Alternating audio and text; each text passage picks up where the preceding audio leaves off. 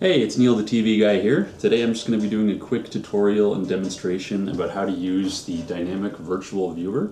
This is a headset um, that works with any smartphone. You put it into the casing and then you can watch movies or play games, virtual reality apps, whatever you like.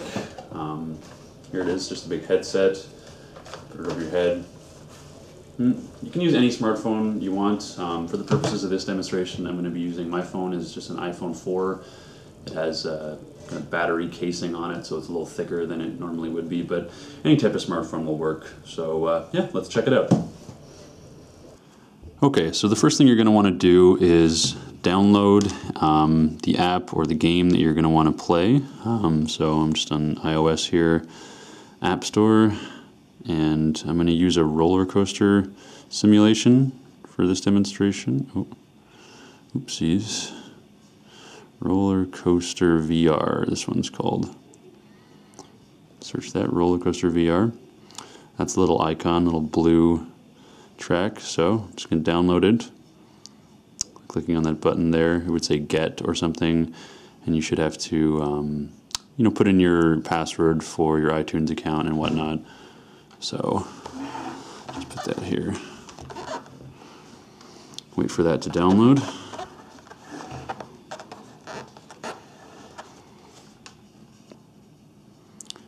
Okay, so it looks like it's downloading now. Little button here.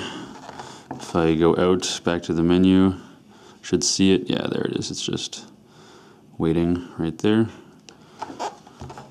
So this app, you'll see a little progress bar and it'll download.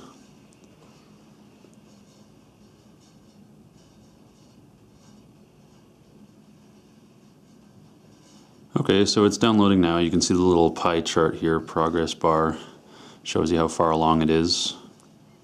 And I'm just going to skip ahead uh, a couple minutes. I don't know how long this will take to download it. it said it was about 150 megabytes or so, so depending on your speed of your internet connection. Shouldn't be that bad. I'm just in kind of a kind of a dead zone of this building for the Wi-Fi connection, so it's going a bit slow. I'll just skip ahead to uh, when it'll be done.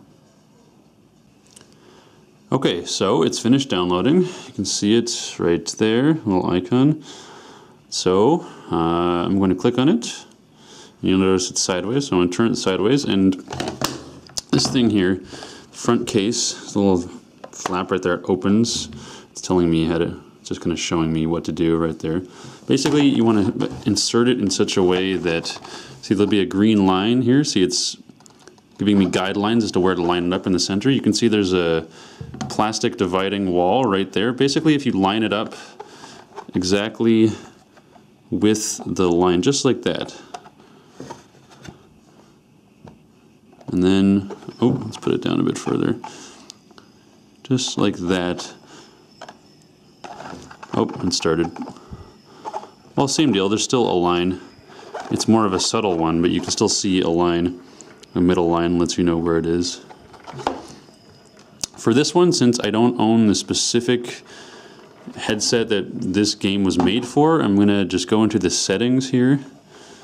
And instead of see, they want you to use your their Fibrum viewer or whatever, I'm just going to go to the larger viewing so there you go. Now you can see it's two screens and when you turn it, it looks up and down. Basically, I'll show you how it works when it's in the thing. So you put it in here. Again, I can see the line. It's hard to see in the camera. There's the line. But if I line the line up right with that middle piece of plastic, right like that, then I can just close the door until it snaps. Now, should be able to see it in here.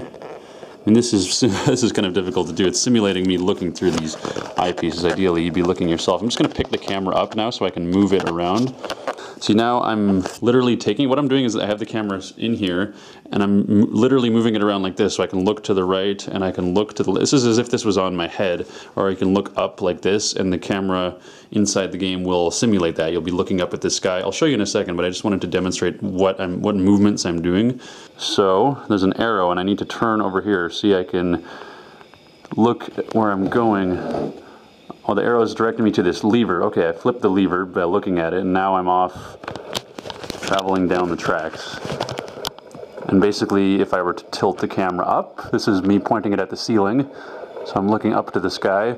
Now I'm tilting it down to the floor, and you can look at the thing, the coaster track, whatever it is. Or I can look to the left and look over here. This is just me simulating having it on my head and literally looking around. So that's how it works pretty much. There's a variety of things you can download to try this out. I'll make a list in the description, in the video description, but yeah, that's pretty much how it works. As long as you take care to line up the phone directly when it's in here, and again, any type of phone will work.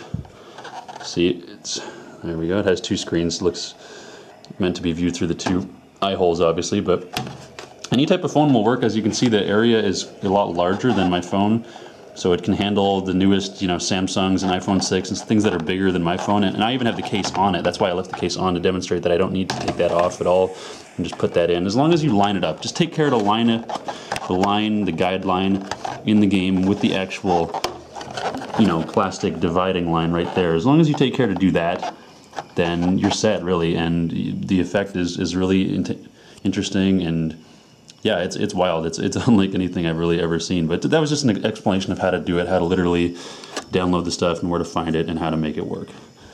So yeah, that's pretty much it. I'll leave a link of all the other things in the description, all the other examples uh, that I've come across so far of things you can view using this. And so that's pretty much it. I'm Neil the TV guy, and we'll see you next time.